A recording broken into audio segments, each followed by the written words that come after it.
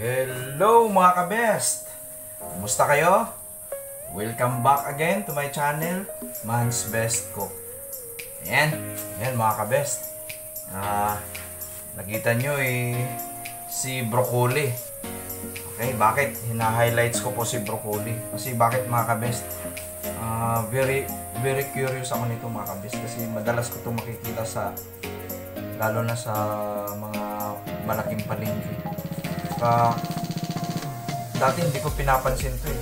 Kasi nung, na, nung nabasa ko siya, kaya ito pala yung pinaka benefits niya, mga kabest. Okay, trivia muna tayo. Ah, bakit ito yung highlights ko ngayon, mga kabest? Kasi isa to sa mga vegetable na malaking bagay sa ating health, mga kabest. Ayan.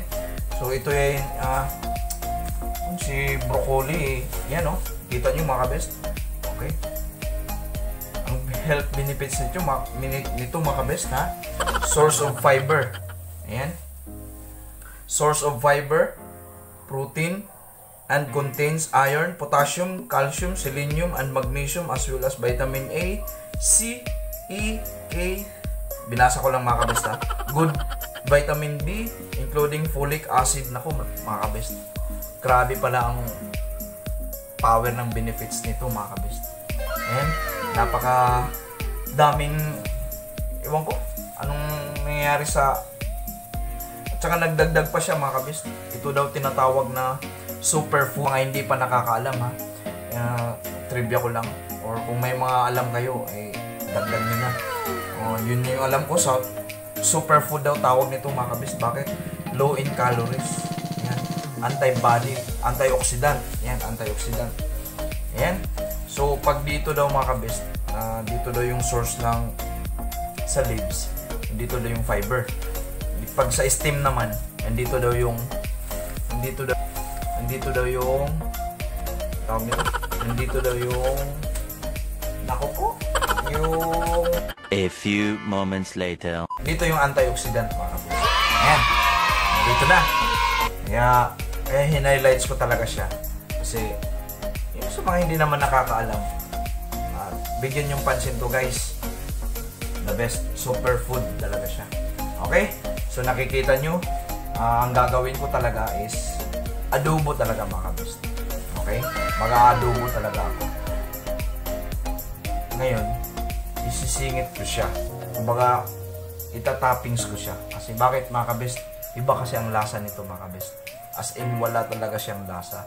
Medyo, medyo ano pa siya. ah, iba pa yung amoy. Kaya ang gagawin, nasa inyo na mga kabest. Minsan, madalas makikita siya sa chop suey. Ayan. Sige, start tayo. Ang gagawin ko ngayon is adobo. Ayan, adobo. Kasi nandito si garlic, si magic sarap, may butter, meron tayong mushroom, toyo, siyempre, suka, may oyster sauce, may water. Ito mga kabis, huwag kayong mabibigla ha. Uunahan ko na kayo ha. Huwag kayong mabibigla dito mga kabis. Hindi to uubusin. Kasi may may may nalaman ako mga kabis na nilalagyan nila ng wine yung adobo nila. O sa mga sa mga hindi pa nakakaalam. Okay, try ko naman mga kabis, try ko to. Pero hindi to uubusin mga kabis, kunti lang ma- makukuha dito. Okay? Visit set. O guys, yung mga, mga lalaki dyan ha. O, o, o, okay. Ayan. Start tayo.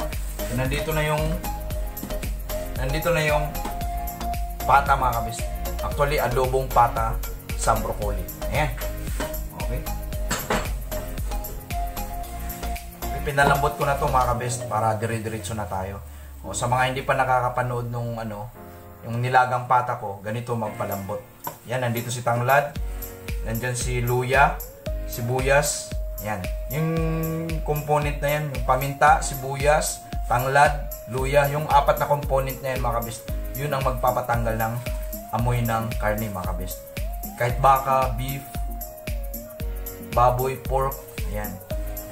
Papatanggal ng amoy yan mga yung apat na component mga kabis okay? Ayan. So lipat natin dito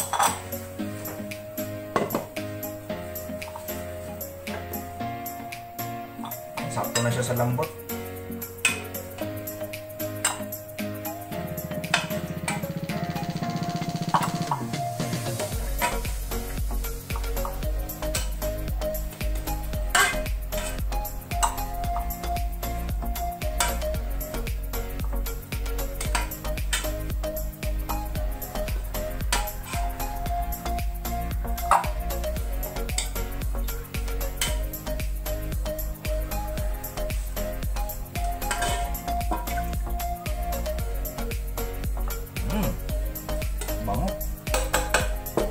na mga kabest.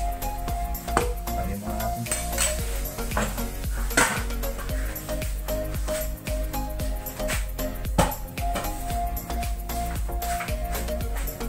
Okay. So, mamaya i-set natin yung mga ingredients. Ah, proceed tayo doon sa cooking area na natin mga kabista. Okay, ulitin ko. Adobong pata with broccoli. Or adobong pata sa broccoli. Ayan. Kasi ito, bigyan natin ng pansin. Kasi, ah, iba kasi ang lasa nito mga kabist. Kaya, gagawa tayo ng paraan na masisingit siya dito. Okay? So, uh, prepare ko lang ha.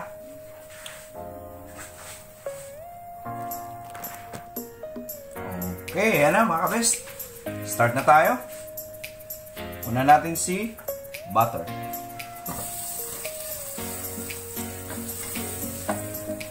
Dali lang sundan to mga kabest kasi lahat naman marunong mag-adobo eh. Kaya mm, lutuin nyo muna yung, yung gusto nyo lutuin yung mino, yung adobo. Lahat naman marunong. Saka pa singit si broccoli. Butter muna tayo. Actually, mga kabest, uunahin ko lang si broccoli. Fried muna natin. Ito yung steam niya, mga kabest. Yan. Yung steam. Okay. Dagdag ko lang, mga kabest. Hindi ko na inupos kasi medyo marami. eh. Actually, guys, nagluto ako nito nung una. Ito lang kinuha ko. Ito, itong part na to tinapon. Eh, may nagsabi sa akin, ba't puro tinapon to eh, makakain pala to. Kaya yan guys, huwag nyo itapon, balatan nyo lang to dito. Ito na part ito. Yan. Yun yung kalabasan mga kabis. Okay? Yan. Dagdag lang sa ano, sa mga hindi pa nakakaalam. Okay. Ano natin si broccoli. Yan. Ito.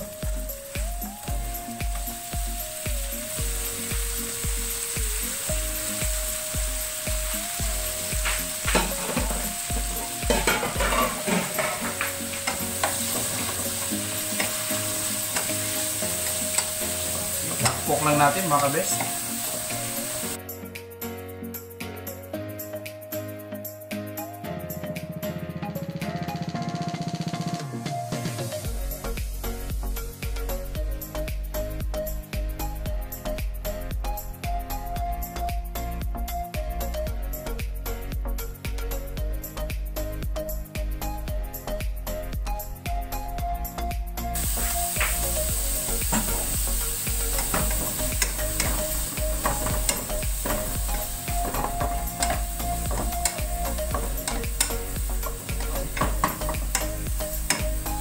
Maganda talaga mga kabes, yung butter ang i-stir fry niyo dito mga kabes. Kasi pag cooking oil, medyo nandun pa rin yung amoy niya. Pag butter kasi, mahalo yung amoy niya. So, parang matatalo yung amoy ng broccoli sa butter. Kaya magiging mabango na siya. Kaya yan. The best talaga butter ang pang, pang fry.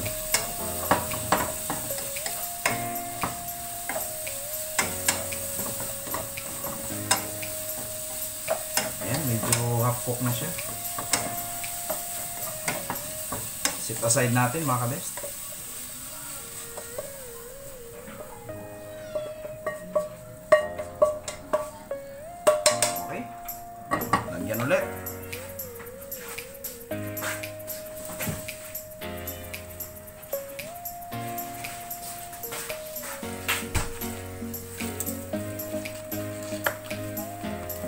Another butter mga kabest. Kahit mga, yan, estimate nyo lang.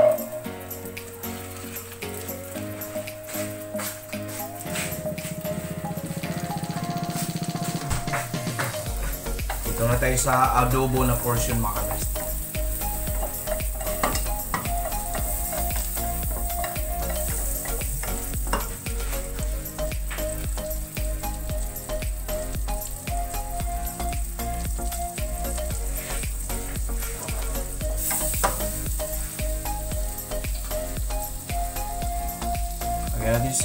Garlic.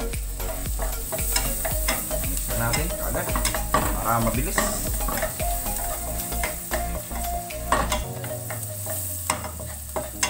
Mas maganda maraming bawang mga kabes. Para nandun na naman yung amoy niya, yung bango.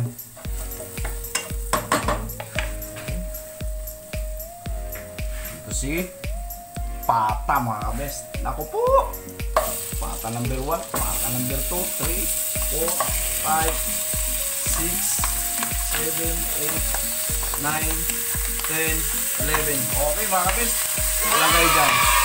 11 yan. Hindi, banat.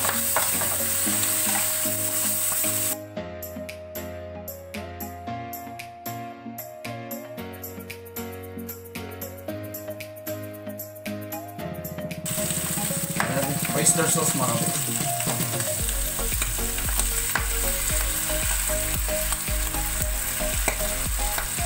Pumuputok-putok na. Ubusin mo na to.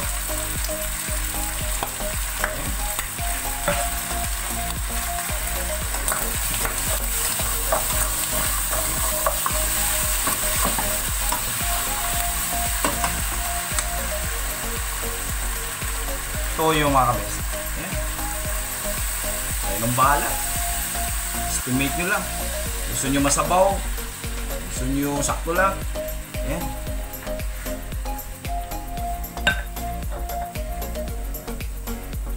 Siyempre, lagyan natin ng vinegar. Ayan, homemade lang to mga kabes. Naglagay ako ng bawang, sili, tsaka luya lang mga kabes. Mabango siya. Kaya, yun, yung ordinary lang na suka, pwede. Yan, lagyan, babad mo lang siya. Babad mo lang. Tapos, pag gagamitin mo siya, amuyin mo siya mga kabest. Naku, napakabango. Sakto sa mga tuyo, yung iba pang mga ulam mga kabest, prito, yan. Okay, so dito, dagdag natin.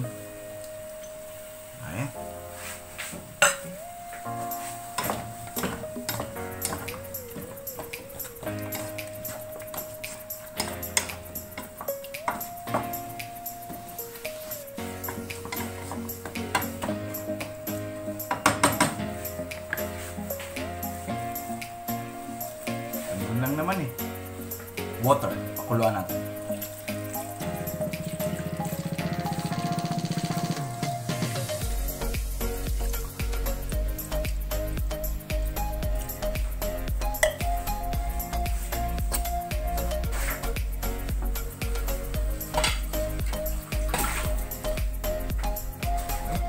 Takpan natin mga kabest. Okay, mix lang muna natin.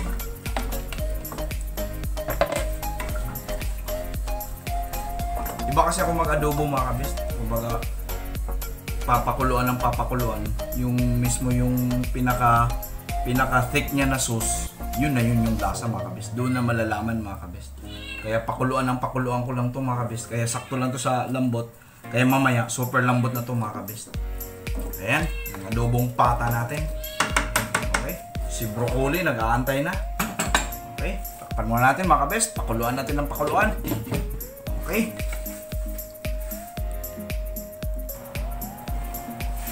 Okay guys, check natin. Ayan.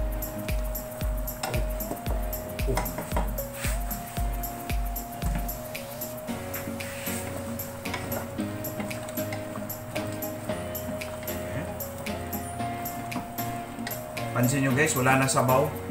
Ayan, pakunti na yung sabaw niya, yung pinakasarsan niya. Okay.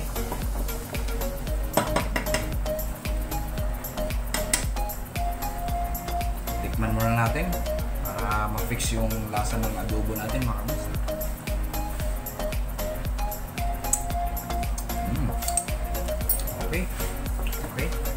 This time guys, ito na yung pinakaantay. Yung wine. Ayan, kumuha na ako ng konti guys. Bakit? Baka baka malasin yung ano, yung kakain ito. okay guys, ayan oh. Yan na yung mga kabest ha. Sasabaw ko. Wine. Alfonso. Nako po. Okay. Isang kulo na lang to guys. Dire-diretso na to.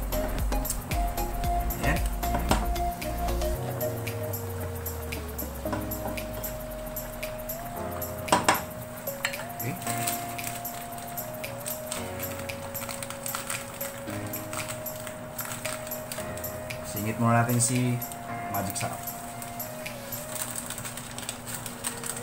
Yan, kunti na. Okay. Tuloy, pwede na nga ito eh. Oh, kasi ayos na yung sarsa niya. Sige, pa-dissolve muna natin yung wine. Pahabol si mushroom. Ayan. Sama na rin natin para all the way na.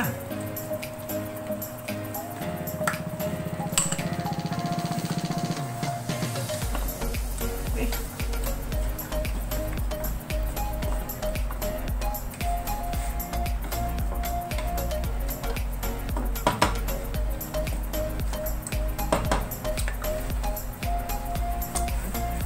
Muna natin. A minute.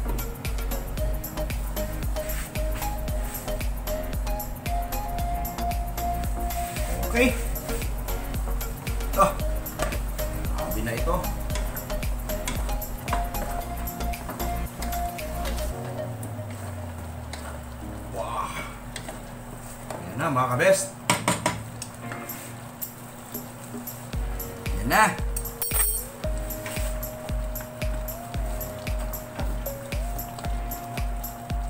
Lambot mga kabest oh. Umiiwalay na sa buto. Okay.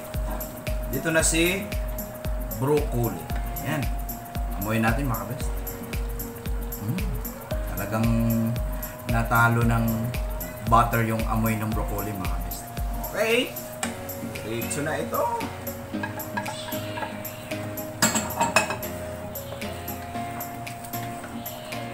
Oh.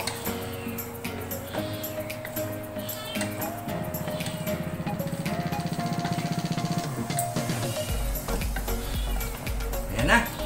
Okay, prepare ko lang mga kabest ha. Ayan.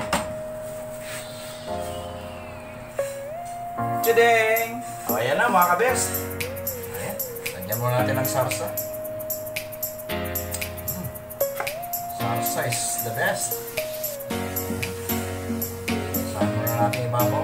Okay. Ayan na. Yan na yung finished product natin mga kabest. Adobong pata with broccoli. Ayan. Tikman mo natin mga kabest ha.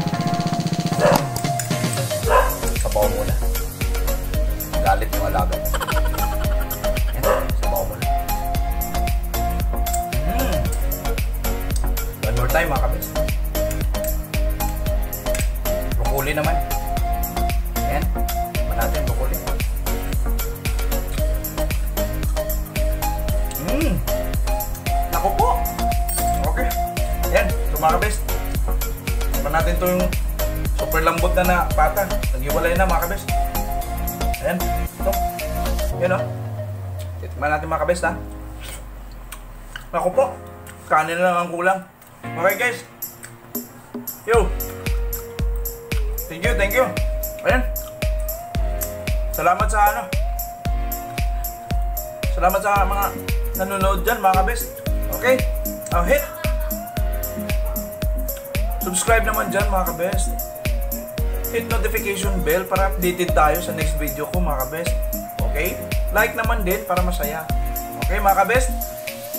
Thank you, thank you. See you. Bye.